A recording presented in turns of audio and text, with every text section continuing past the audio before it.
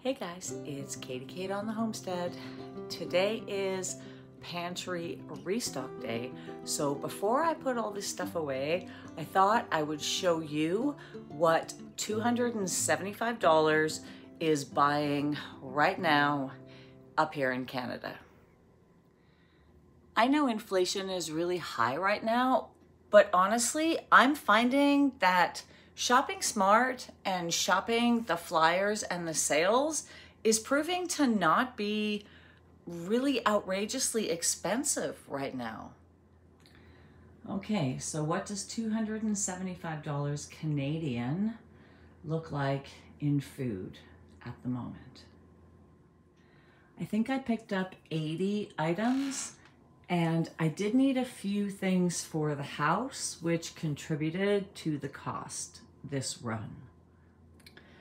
Okay, for the pantry snack cupboard, we've got treats, cookies, chips.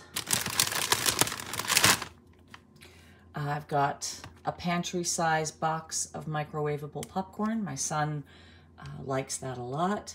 Some ketchup.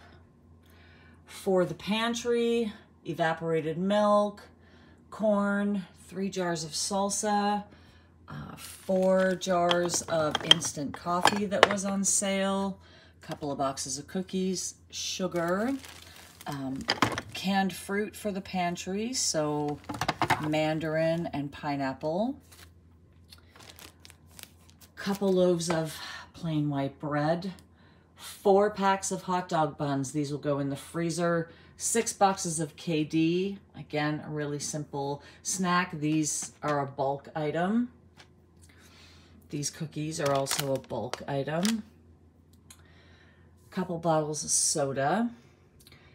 These are a few things I needed for the house. So some rope, some calamine lotion, and some needle nose pliers. They actually forgot the six inch set of pliers, so I'm gonna have to follow up with that. Fresh items, we got some vegetables, strawberries, a couple of bags of oranges. These were on sale. Cream cheese, sour cream, those are for me, high calorie things that I like. Um, hummus, bulk item, lettuce, bananas, and I got six packs of these. They were $5 off, and these will go in the freezer. Again, a really great thing for my son. And then uh, three bags of milk. I also picked up uh, an extra bag of cat food, a box of cat litter, and an electric kettle because mine died.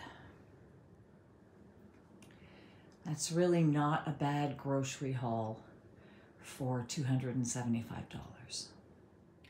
So not a bad haul for the cost. You know, we have lots of snacks for the weekend and then for the next week or so.